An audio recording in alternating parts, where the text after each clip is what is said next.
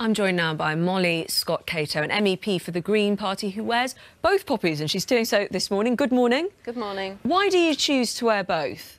Well, I represent the whole of southwest England, so there's a lot of military personnel there. Bases in Dorset and Royal Wootton Bassett is also in my patch, and the, the, Devonport Dockyard in Plymouth, where I was yesterday. So I wear the red poppy to show my respect for them and the work they do keeping us safe and the sacrifices they make.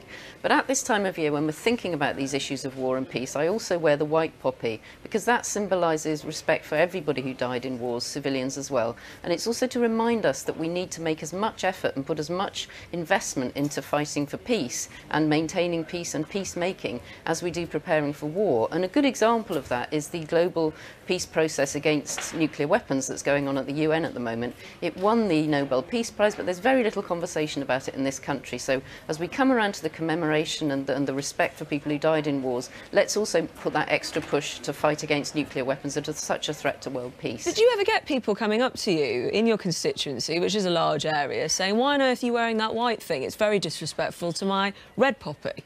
I think some people do think there's a conflict between the two, but I think by wearing both, I show that actually you can remember the people who gave their lives and respect the armed services, yes. and at the same time make that extra effort to fight for peace and also seek out the causes of war, which I think is really important, but, whether it's global... But does that white poppy offend those who you're also representing right now in the military?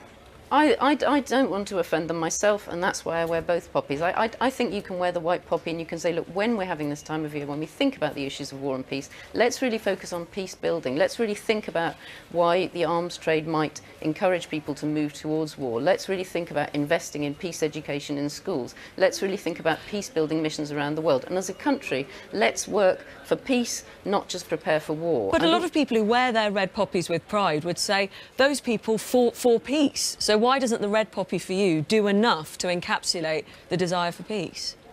Well, I think that, the white poppy is precisely to symbolise that, and therefore, when you see somebody wearing the white poppy, you ask them why they're wearing that. They can explain, just as we're doing today, why it's really important not just to, to have peacemaking activities, but also to seek out the causes of war. So, for example, if we have global inequality, if we don't tackle climate change, then we are actually sowing the seeds of future conflicts, and that's something that the white poppy symbolises, and it's use, a useful tool to bring out that debate.